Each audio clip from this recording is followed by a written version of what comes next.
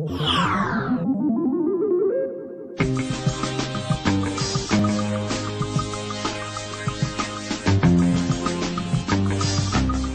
nine years old, I knew I wanted to be a designer.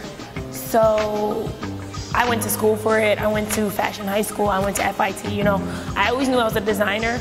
I've always loved charity work, but I've morphed into this person who's like, I want to do more. What else can I do? I know I can't do everything, but I definitely know I need to make a difference with um, certain people and children and young females, and I just want to help. You know, how can I be of service? That's what I. That's how I live. The clothing line, no one really knows about it, but I'll give you a little inside scoop.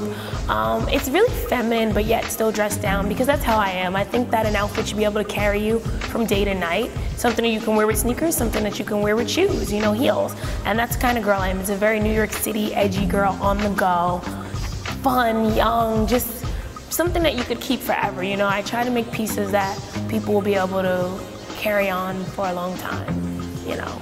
And um, I want my pieces to be affordable, so a very moderate end line that um, you can actually buy, but be fashionable for the price. I got my hands full, you know, my clothing line, my website, and the non-for-profit. And, you know, I do a lot of other non-for-profit work with um, Children's Miracle Network. I also work with the Compound with Ne-Yo.